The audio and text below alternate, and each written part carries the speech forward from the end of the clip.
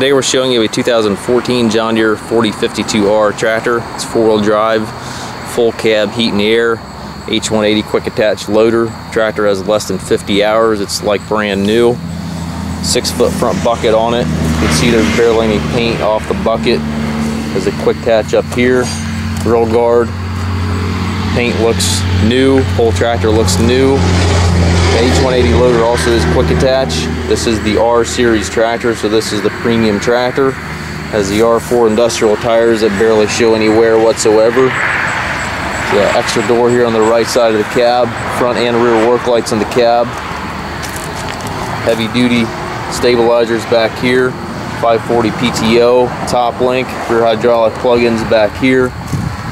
Got a knob here to raise and lower your three-point arms from the ground. You can also move the tractor from forward, and reverse right back here. So if you're hooking things up with these two items, makes hooking anything up very easy.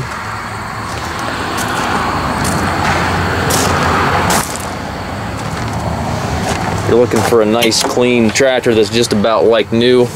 You won't find anything cleaner than this. It's got a nice air ride seat there for the operator, tilt steering wheel. Over here to the right you've got some storage, also a cup holder, three ranges here for your transmission, park brake, differential lock, has tilt steering wheel, four-wheel drive right here on the dash.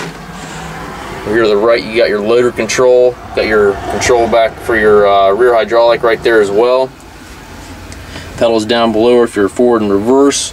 Three-point control right here within easy reach. PTO engagement, also have your load match, speed match, and throttle control there on the right. Tractor has the auto throttle option.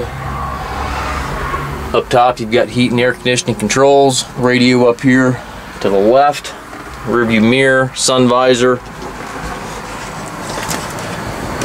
Do your work in style.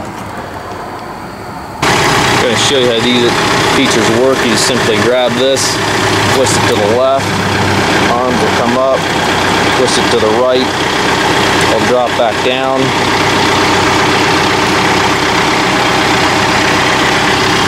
Buttons back here, simply press and hold.